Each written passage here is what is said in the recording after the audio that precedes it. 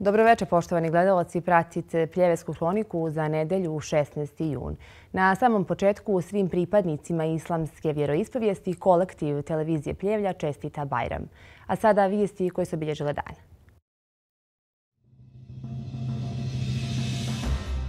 Praznik Kurban Bajram nas podsjeća na pravu vrijednost žrtvovanja i solidarnosti, istakao glavni imam Husein Pašine džamije Ferid Efendija Osmanagić usvojena odluka o davanju državnih šuma na korišćenje. Opština Pljevlja i kulturni centar Predrag Peđa Leovac 28. juna organizuje otkrivanje spomenika heroju sa košara, Predragu Leovcu. Turistička organizacija Pljevlja donijela je odluku o dijeljenju sredstava iz oblasti ruralnog turizma. U porti manastira Svete Trojice održano duhovno veče. Vrijeme s jutra pretežno sunčano i toplo. Praznik Kurban Bajram podsjeća nas na pravu vrijednost žrtvovanja i solidarnosti. Istakao je glavni imam Husein Pašine džamije Feri Defendija Osmanagić. U razgovoru za našu medijsku kuću osvrnuo se na jedan od najvažnijih praznika u islamu koji nosi duboko simboličko značenje.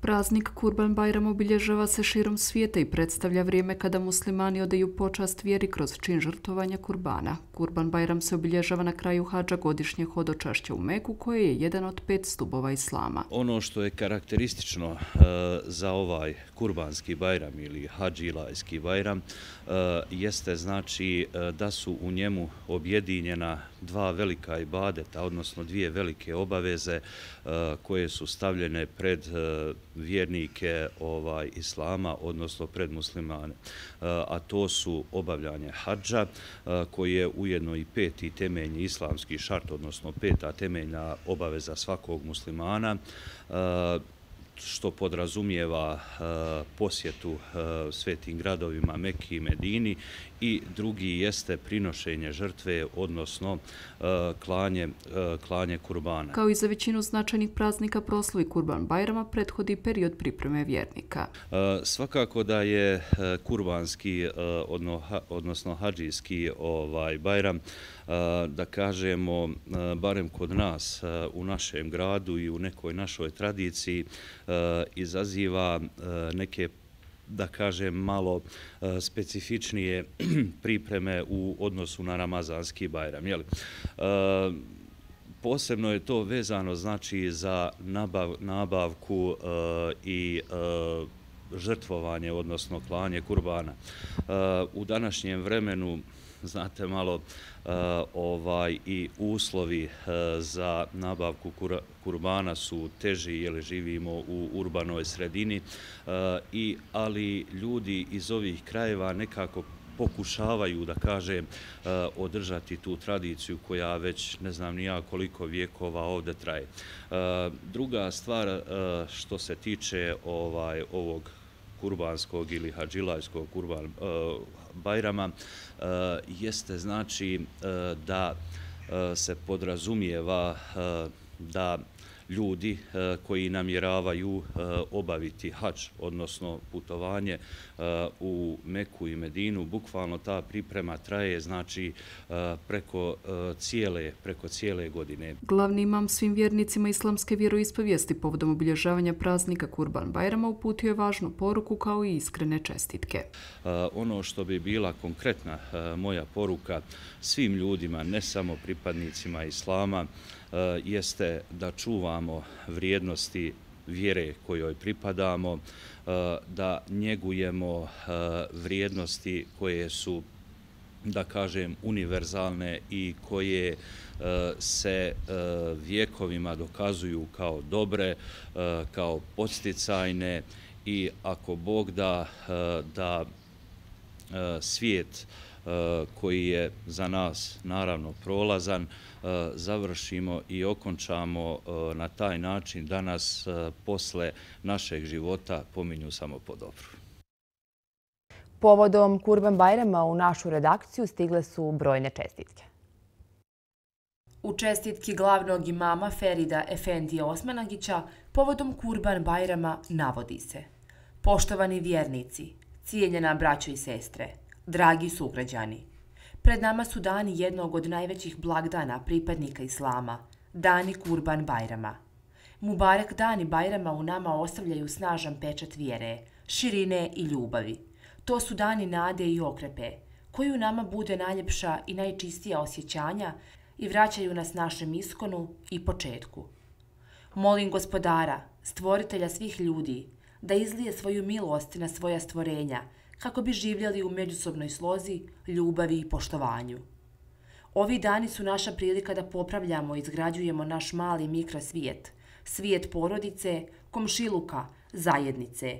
A to ćemo najbolje uraditi ako bajramsku radost, ljubav i ljepotu budemo podijelili. Jer ona nije samo naša, ona je zajedničko dobro. Malim gestovima se pridobija pažnja, a male stvari život čine lijepim. Dani Bajrama nas moraju naučiti da budemo blizu čovjeka i njegovih potreba uvijek i u svakom vremenu, kako bi se među ljudima gradilo povjerenje, rasla nada u bolju i pravedniju budućnost, te širila međusobna ljubav među svim pripadnicima čovječanstva. Neka dani Bajrama budu ispunjeni mirom, toplinom, zadovoljstvom, pomaganjem i pružanjem. U to ime svim pripadnicima Islama upućujem najiskrenije čestitke za Kurban Bajram. Bajram šerif Mubarek Olsun. Poštovani sugrađani, nakon dana Arefata, dana kada hađije iz cijelog svijeta na Arefatu spoznaju svoga gospodara i potvrde jednoću stvoritelja, slijedi nam najveći Mubarek dani, Kurban Bajram. Kada ćemo skrušeno prinositi svoje kurbane i potvrđivati našu opredjeljenost da se sa našim kurbanima Allahu približavamo, a i sami sebi. Kurban Bajram za muslimane simbolizuje žrtvu, Ibrahima, koji je izvršio naredbu uzvišenog Allaha da svog sina Ismaila prinese kao žrtvu. Kurban Bajram također simbolizuje i emanet Ismaila, koji je u ime Allaha bio spreman da bude žrtvovan. Vrijeme Bajrama je uvijek prilika da se prisjetimo ovih događaja i da preispitamo sebe i svoju ulogu na Dunjaluku. Mnogobrojne su žrtve koje kao ljudi podnosimo tokom svojih života, a najveća i najbolja je žrtva ona koja se čini u ime gospodara svjetova.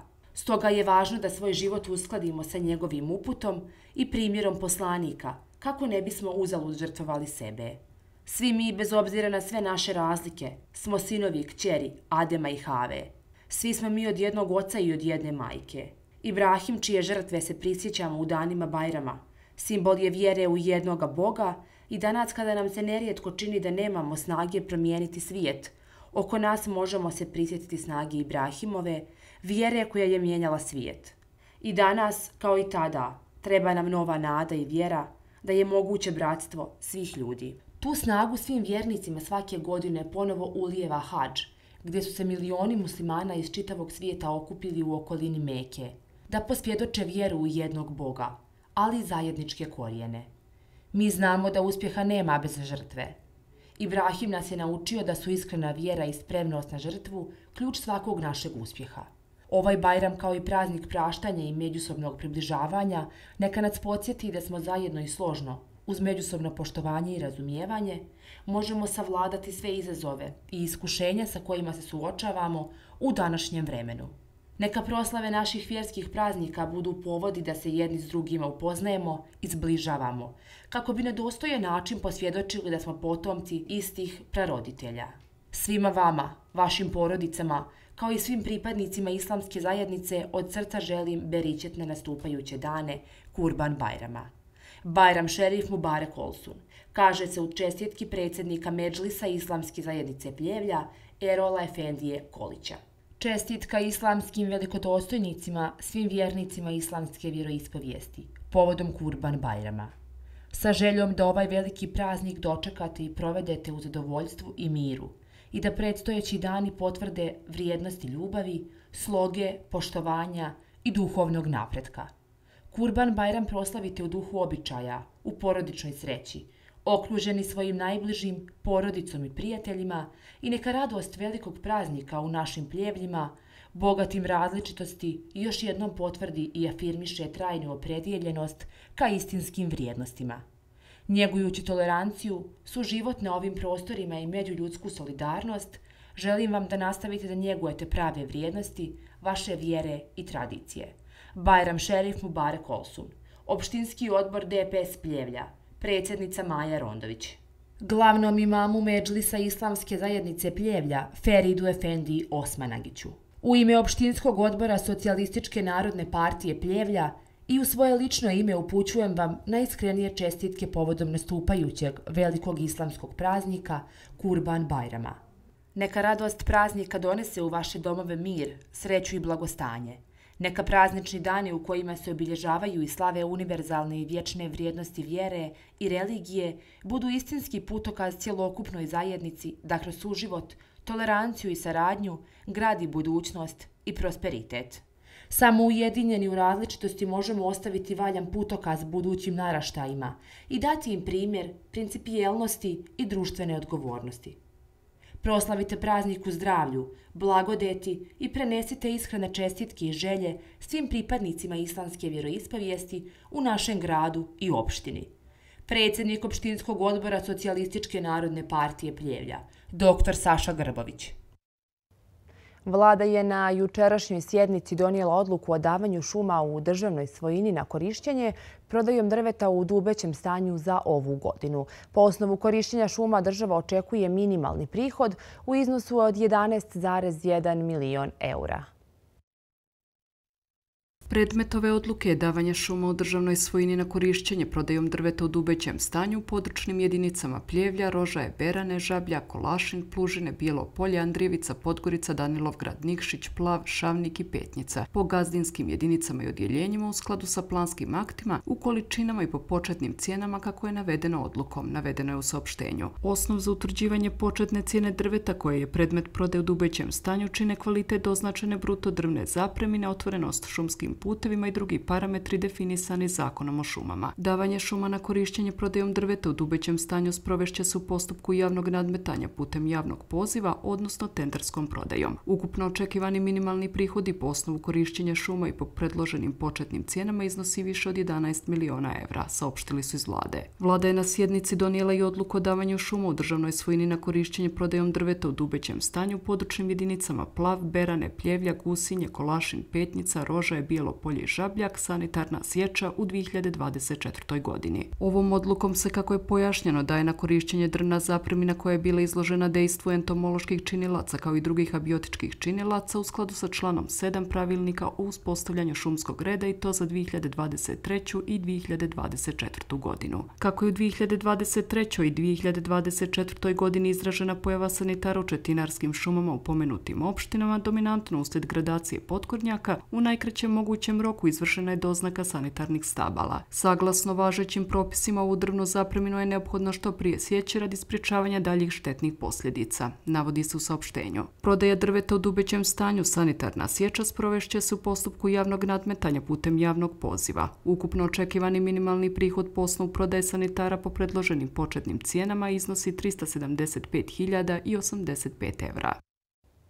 Pljevljak PM54 je juče nakon što je policija tokom pretresa njegovog vozila pronašla torbu sa 10 kg marihuane. Kako navode iz uprave policije, policijski službenici su 14. juna po naredbi sudije za istragu Višeg suda u Bijelom polju na magistralnom putu Podgorica-Kolašin izvršili pretres vozila koje koristi PM54 iz Pljevalja. Pretresom automobila u prtljažniku je pronađeno i oduzeto nekoliko pakovanja sa sadržaljem biljne materije, tamno-zelene boje za koju se sumnja da je opoljna droga marihuana, težine oko 10 kg. Od osumljičenog je oduzeto putničko motorno vozilo kao i dva mobilna telefona i SIM kartica radi daljih kriminalističkih vještačenja navode iz policije. Osumljičeni PM će uz krivičnu prijevu biti priveden državnom tužiocu u Višem državnom tužilaštvu u Bijelom polju zbog sumnje da je izvršio krivično dijelo neovlašćena proizvodnja, držanje i stavljanje u promet opojnih droga. Pljevlja i kulturni centar Predrag Peđa Leovac 28. juna organizovaće otkrivanje spomenika heroju sa Košara, Predragu Leovcu. Svečanosti otkrivanja spomenika heroju sa košara Predragu Peđileovcu prethodit će Vidovdanska litija ulicama Pljevalja sa početkom od 17 časova. Nakon litije u 18 časova u gradskom parku biće otkriven spomenika, propratit će ga bogat kulturno-umjetnički program u kojem će učestvovati Predragov otac Mile Leovac, predsjednik opštine Pljevlja dr. Dario Vraneš, akademik Matija Bećković, Vladika Mileševski, gospodina Tanasije, borac sa košara Dejan Radojević, operska diva Ljubica Vraneš. Također učešće u programu imaće jedna grupa grupa Fenerički biser i etnopojci Dragoljub Bajić i Branka Zečević i guslar Nikola Tošić. Na kraju bogatog programa na trgu 13. jul održat će se koncert sa početkom u 21 čas na kojem će nastupiti Beogradski sindikat i Danica Crnogorčević. Na osnovu predloga odluke Komisije za podršku za projekte iz oblasti ruralnog turizma za 2024. godinu, direktorica turističke organizacije Pljevlja donijela je odluku o dodjeli sredstava za poboljšanje uslova za razvoj ruralnog turizma kroz unapređenje kvaliteta usluga i ponude u seoskim domaćinstvima. Nakon sprovedenog javnog poziva za podnošenje prijava za dobijanje podrške za projekte iz oblasti ruralnog turizma za 2024. godinu, turistička organizacija Pljevlja donijela je odluku o dodjeli sredstava iz budžeta turističke organizacije turističkim subjektima iz oblasti ruralnog turizma za poboljšanje uslova kroz unapređenje kvaliteta usluga i ponuda u seoskim domaćinstvima. Ukupan budžet turističke organizacije Pljevlja za ove svrhe 15.000 evra. Maksimalan iznos bespovratnih sredstava je 2.000 evra. Nakon isteka roka javnog poziva, komisija je evidentirala 18 dostavljenih prijava, s tim što jedna prijava nije razmatrana jer nije priložila rješenje o upisu u Centralni turistički registar o odobrenju za obavljanje ugostiteljske djelatnosti, a to je jedan od glavnih uslova za prijavu na javni poziv. Ostale prijavljene komisija je bodovala i njih devet je dobilo bespovratna sredstva, a to su Seosko domaćinstvo Čirović, iz Očaka, seosko domaćinstvo Popović iz Hoćevine, etno kuća Krvavac iz Trnovica, sobe Eko Farma Tara iz Đurđevića Tare, apartmani Zmajeva Bašta iz Đurđevića Tare, sobe i apartmani Vuči Krš iz Đurđevića Tare, seosko domaćinstvo Mijakovići, seosko domaćinstvo Jakić iz Potpeća i etno House Bajka – Njih devet će potpisati ugovor sa direktoricom turističke organizacije Pljevlja o međusobnim pravima i obavezama, načinu isplate i korišćenju sredstava. Vlada je donijela odluku o utvrđivanju i raspodjeli dobiti za 2023. godinu od preduzeća Monteput deo Podgorica. Monteput je u poslovnoj 2023. godini ostvario pozitivan finansijski rezultat. Dobit u ukupnom iznosu od 4.348.855,15 eura. Raspodjelom sredstava Monteput je u obavezi da dio sredstava, tačnije 349.000 eura, uplati na račune sporta sportskih organizacija, između ostalih i Centru za sport i rekreaciju Pljevlja, kome je opredjeljeno 5000 eura. Srpska pravoslavna eparhija Mileševska crkvena opština Pljevlja i manastir Svete Trojice sa blagoslovom episkopa Mileševskog gospodina Atanasija organizovali su predavanje na temu pravoslavni odgovor na zavist i ljubomoru. Predavač je bio protojere i stavrofor dr. Miloš Vesinj. Svojim znanjem, rečitošću, dobronamjernošću i duhovnošću protojere Stavrofor Miloš Vesin gotovo dva i po sata držao je pažnju okupljenim vjernicima u porti manastira Svete Trojice u subotu veče 15. juna govoreći na temu pravoslavni odgovor na zavist i ljubomoru. Otac Miloš Vesin brojnim primjerima iz svakodnevnog života potkrepljujući govorima iz poslanica duhovnih velikodostojnika, ukazao je na primjere zavisti ljubomore te teške bolesti ljudi kroz vijekove. Ta dva velika greha, ali ta dva teška i otrovna osjećanja koja mute bistru vodu radosti kojom bi trebalo svakodnevno da se umivamo, a ta bistra voda radosti upravo i teče sa izvora naše bogolikosti. Moramo pre svega da vidimo šta su zavist i ljubomora, da ih definišemo. Najlakše će biti ako zapamtite sledeće. Za zavist je potrebno dvoje, za ljubomoru je potrebno troje. Vi zavidite nekome na nečemu što on ili ona imaju, a vi nemate.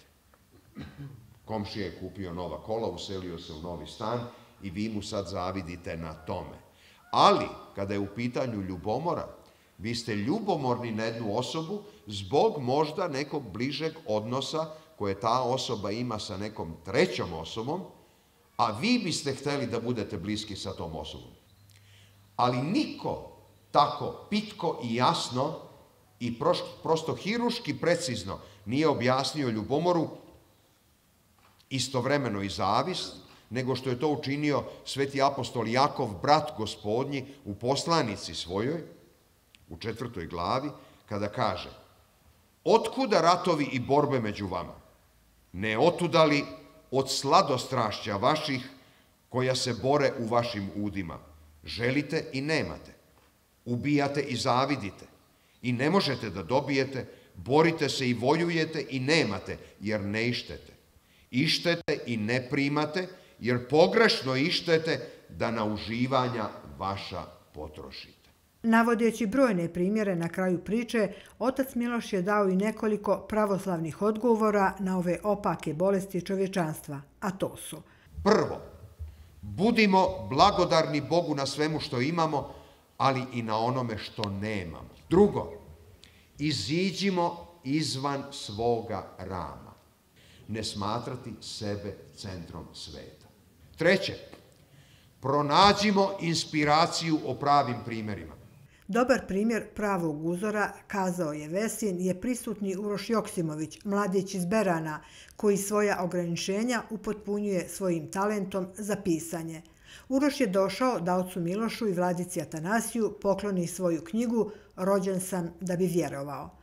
Protojerej Stavrofor Miloš Vesin završio je Karlovačku bogosloviju i Bogoslovski fakultet u Beogradu, studije psihologije, studije muzike, ocijek solo pjevanja i dirigovanje i postdiplomske studije iz teologije završuje u Lucernu u Švajcarskoj. Bavi se pastirskom psihologijom i službuje u Čikagu. Duhovno veče završeno je njegovim solo pjevanjem. Vladičnjim Go on.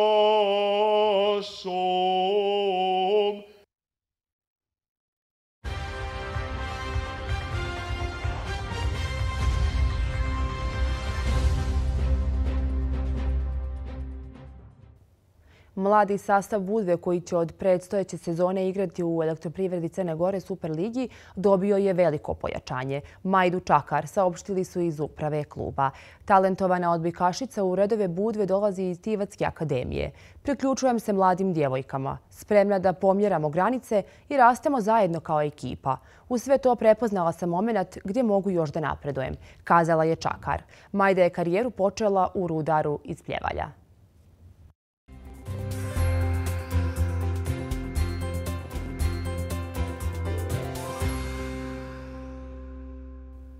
Vrijeme s jutra pretežno sunčano i toplo, u slab da umjeren razvoj oblačnosti i mogućnost za rijetku pojavu kratkotrajne nestabilnosti, prvenstveno u planinskim oblastima. Na sjeveru ujutru po kotlinima kratkotrajna magla ili povećana niska oblačnost. Vjetar slab da umjeren promjenljivog smjera. Jutara temperatura vazduha od 9 do 21 stepen, a najviša dnevna od 23 do 34 stepena.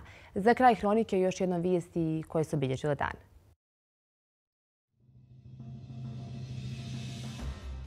Praznik Kurban Bajram nas podsjeća na pravu vrijednost žrtvovanja i solidarnosti, ista kao glavni imam Husein Pašine džamije Ferid Efendija Osmanagić. Usvojena odluka o davanju državnih šuma na korišćenje. Opština Pljevlja i kulturni centar Predrag Peđa Leovac 28. juna organizuje otkrivanje spomenika heroju sa košara, Predragu Leovcu. Turistička organizacija Pljevlja donijela je odluku o dijeljenju sredstava iz oblasti ruralnog turizma. U porti manastira Svete Trojice održano duhovno veče. Vrijeme s jutra pretežno sunčano i toplo. Bilo bi to sve u ovom izdanju Pljevetske hronike. Hvala vam na pažnji i prijetno večer.